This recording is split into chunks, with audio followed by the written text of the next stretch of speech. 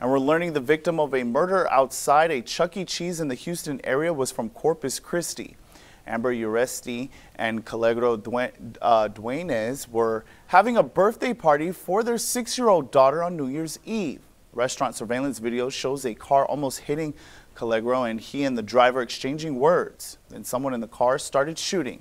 Amber says Calogero stumbled into the restaurant saying he'd been shot.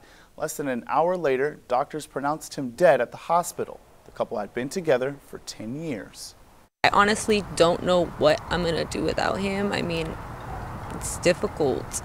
I mean, he was awesome. He was a great father, a great husband, a great provider. I mean, he was my world. So far, no one has been arrested for the murder.